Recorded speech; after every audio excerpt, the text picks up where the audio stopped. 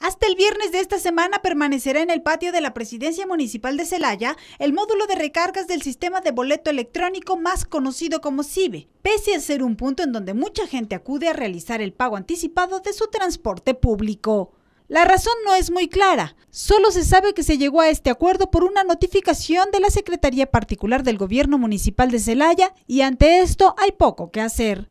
Cabe destacar que en promedio al día acuden a este módulo a realizar una recarga de su tarjeta CIBE al menos 300 personas, las cuales ahora tendrán que buscar otros puntos para hacer este procedimiento, sobre todo los lunes, que es cuando más gente acude. A la encargada del módulo solo se le escucha explicarle a la gente que ya no van a estar y deberán hacer sus recargas en tiendas de conveniencia.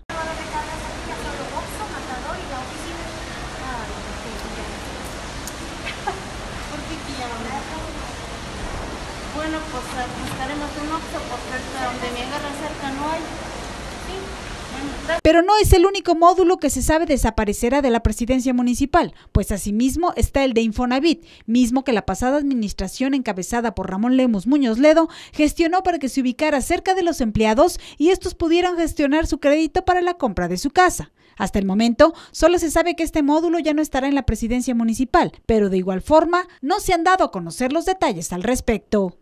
Con información de Karen Delgado, para Vía Noticias, América Ortiz.